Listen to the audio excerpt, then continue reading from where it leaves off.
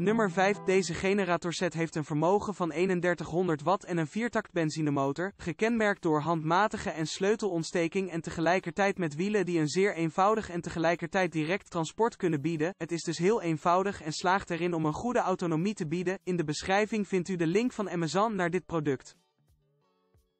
Nummer 4. Deze driefasige generatorset slaagt erin om een maximale bruikbaarheid te bieden omdat het wordt gekenmerkt door de aanwezigheid van zeer eenvoudige wielen en tegelijkertijd zal het mogelijk zijn om het vrij gemakkelijk te verplaatsen. Met een maximaal vermogen van 2,8 watt en een spanning van 240 volt is dit artikel het ideale hulpmiddel bij stroomuitval of wanneer u gaat kamperen, aangezien dit een generatorset is met een lage prijs en zeer eenvoudig te gebruiken. De link naar de prijs van dit product vindt u onderaan de videobeschrijving.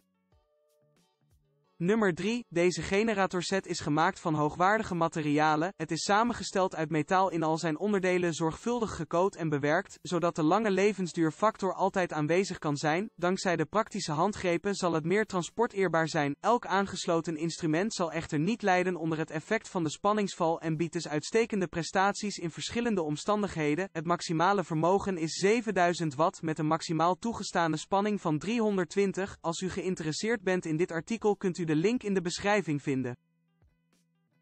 Nummer 2. Deze 3 kW generatorset laat u toe om een vrij goede autonomie te hebben met de compensatie van een substantieel afwezige ruis. De tank, die loodvrije benzine gebruikt, biedt echter een capaciteit van slechts 7 liter met een autonomie van ongeveer 4 uur per liter. Dit betekent dat de driefase generatorset een totale autonomie van ongeveer 28 uur biedt. Zoek de link naar dit artikel in de beschrijving.